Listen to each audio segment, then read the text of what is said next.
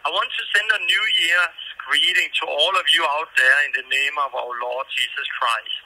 This year, 2022, is soon over, and I'm sending this New Year greeting to all of you here from Baker County Detention Center, where I've now been locked up for six months. Yes, a half year. I could not imagine something like that was possible. But that really shows that we are living in times that is changing and that we are in a spiritual war. Our enemy is busy spreading lies and doing everything he can to stop the gospel to go forth. But he will not succeed. God has the last word and everything is in his hand and this will end up having the opposite effect. I truly believe that we are standing in front of a breakthrough like we have never seen before. These last six months have truly changed my life this is really the best Bible school one can join. It is also the hardest Bible school. But God has done so much in my life the last six months, and I'm truly thankful for it. And I'm actually thankful I was not out three months ago because I was not ready there. There were still many things I needed to learn.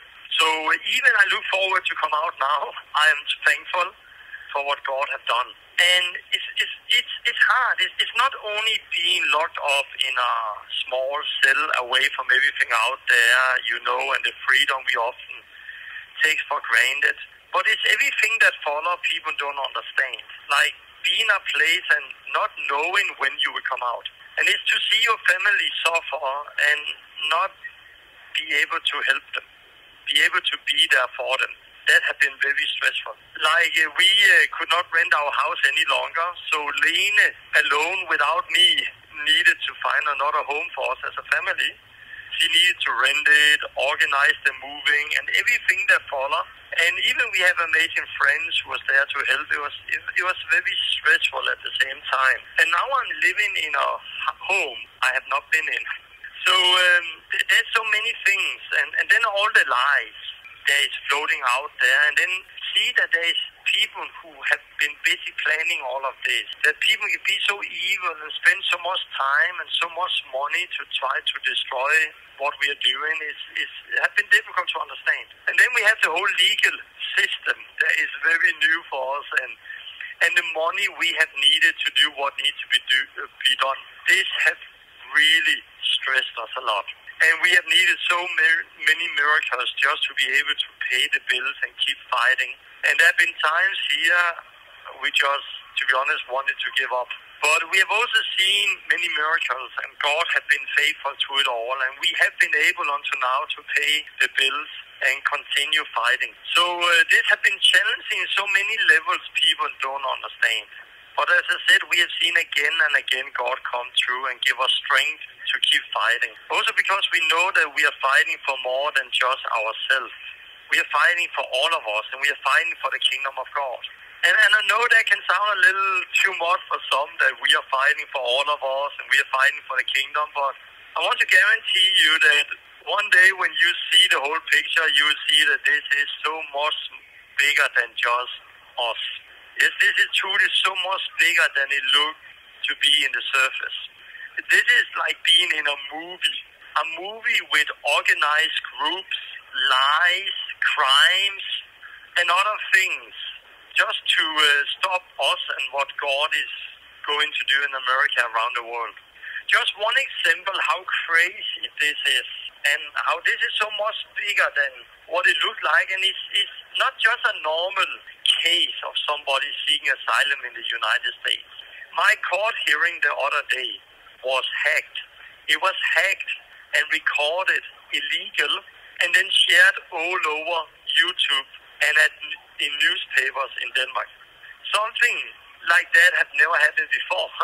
that a small court hearing like that is being hacked and used in this way my lawyer, she has been a lawyer for 25 years and she has never heard about anything like this before. So it is truly like being in a movie. But now the truth about what is really going on is starting to come out. We have on friendsoftorben.com and on our YouTube channel just published another update where we give so much more information about all of this. And as I said, it is really like being in a movie And uh, maybe you will see this in a movie one day, or at least read about it in a book, because this is so much more crazy than anything you can imagine. Like I've experienced many crazy things in my life, but I've never seen anything like this before. But hallelujah, guys, we serve a great God, and He will let the truth come out, and everything will end up good. They've also now been giving out two mini documentaries, which I really strongly encourage you to see and to share. You find them on a link in the text uh, together with this video, and they're, they're very powerful. You also find on our YouTube channel. In the last of the mini documentaries, we sh- show some clips from our undercover journalist who came from Danish TV2, a Danish owned TV station. And it's clips that have never been shown before.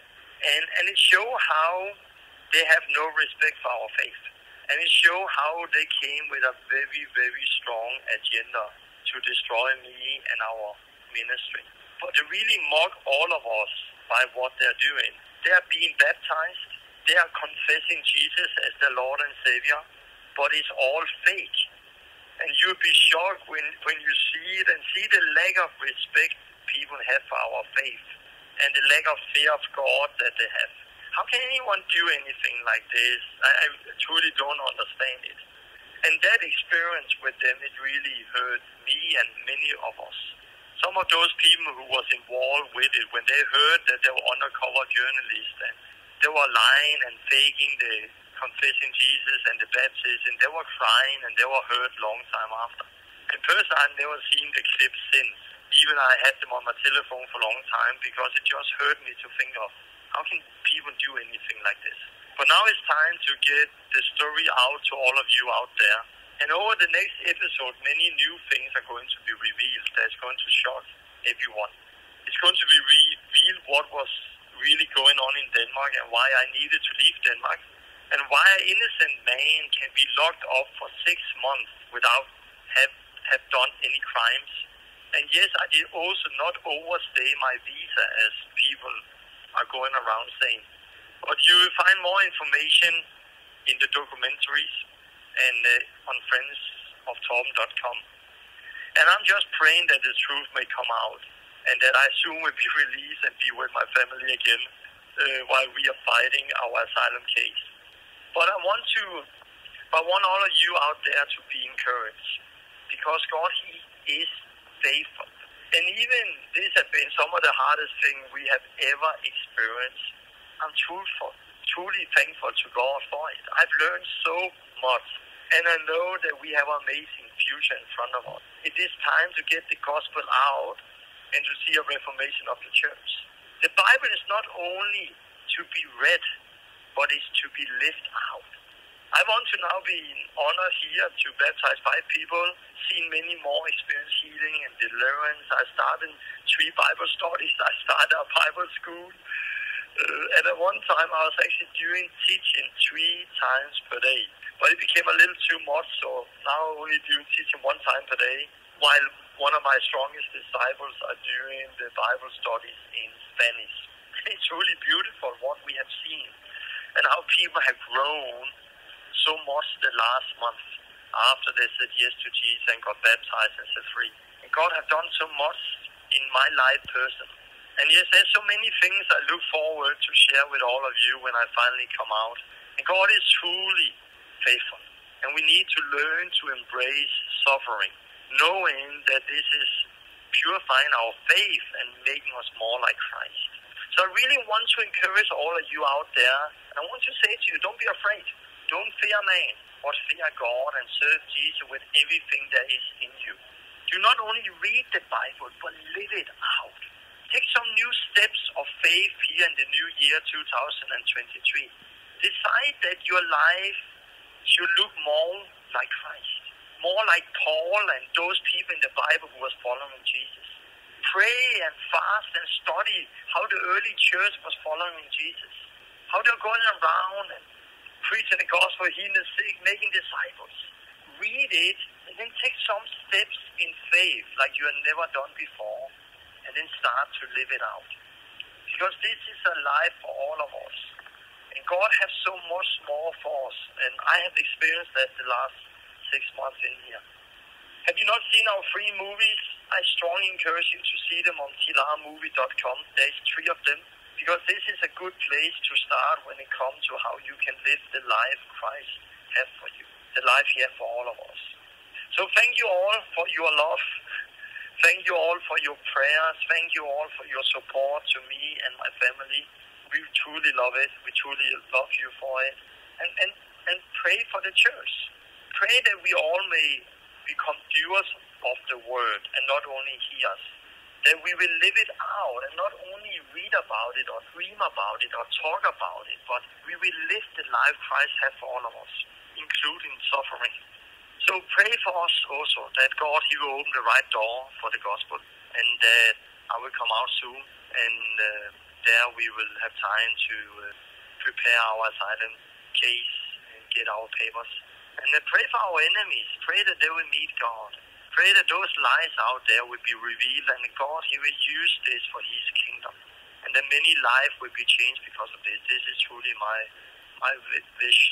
It's truly my desire, my heart, that God, He will use this to advance His kingdom here on earth. So stay strong, all of you. Serve our Lord Jesus Christ with everything in you. Be bold like never before because God is faithful and He will never forsake us and never leave us no matter what happens. You have nothing to fear. So God bless you all and Happy New Year to all of you and love from here in the name of Jesus Christ. I miss you all and I miss being out and seeing you face to face. But a big blessing from here uh, to all of you from Baker County Detention Center. Bye bye.